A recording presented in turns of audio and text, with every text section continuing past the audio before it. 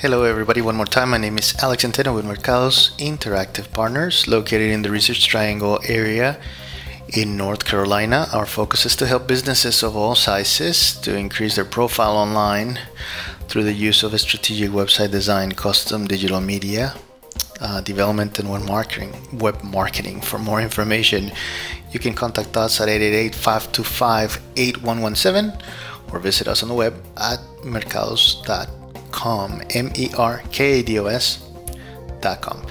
Today, we are going to take a look at a very exciting tutorial one more time. We're going to try to do this one very, very quick.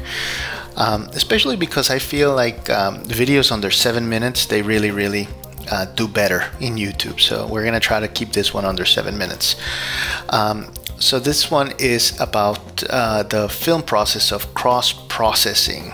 Uh, in film, what this means is basically taking uh, intentional steps to use the wrong chemicals to process film. And so here, uh, if we go to the darkroom.com, we see uh, the technique that we're going to be taking a look at today. Of course, with digital media, we're not going to be doing it with regular film. We're going to emulate the process of cross processing in color negative, which means taking the color negative film, the C41, and developing it in the wrong chemical, which is the chemical for slide, uh, which is the E6.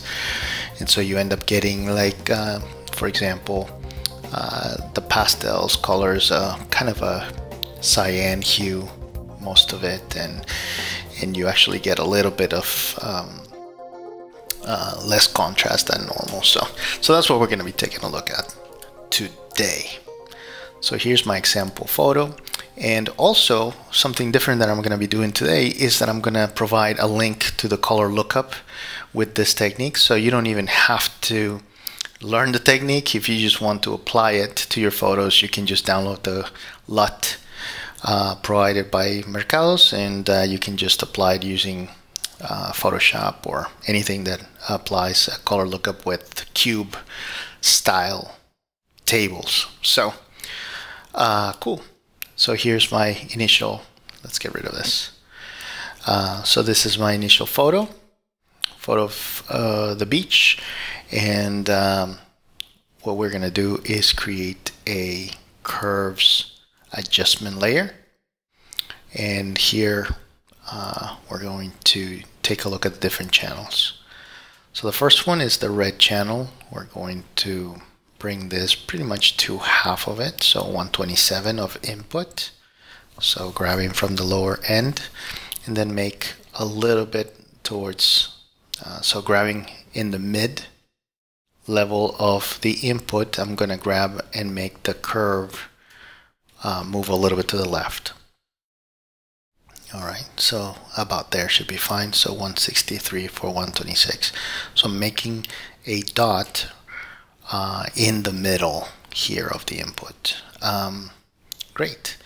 Then that's for the red channel. Then for the green channel, uh, we're going to pretty much just balance the photo. So I see that I have a little bit of extra space here in the highlights. So I'm just going to bring that a little bit in.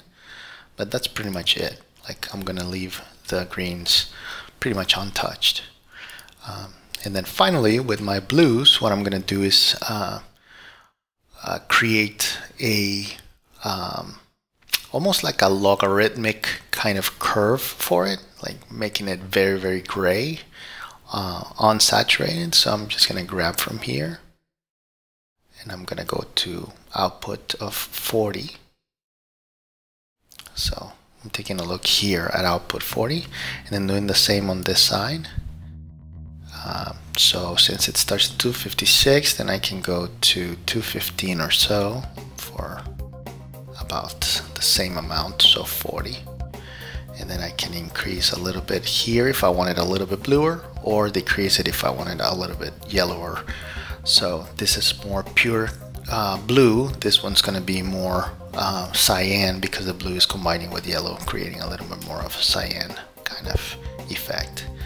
But effectively, that's kind of the effect. So uh, there you have it. So uh, if you really, really wanted, uh, you know, to portray really like the film look, then of course you would do a reverse S curve because the the actual process reduces a little bit contrast so by doing a reverse S curve in the main channel it also reduces a little bit of the contrast so so if you want to you know really really repl- replicate cross processing in your photo then of course you would do that as well. And that's pretty much it. As i said um, i will be providing also in the description a link to the color lookup table on the LUT um, that is going to be made available for free. So if you made it this far into the tutorial today you get it for free which pretty cool. So as you can see it's a pretty simple technique uh, pretty cool too and uh, of course you can replicate with digital media which you usually do with your film processing uh, if you're into that. So anyways hope you enjoyed it. Um, and uh, we welcome your comments as always in the youtube channel box below. So thank you so much and have a great time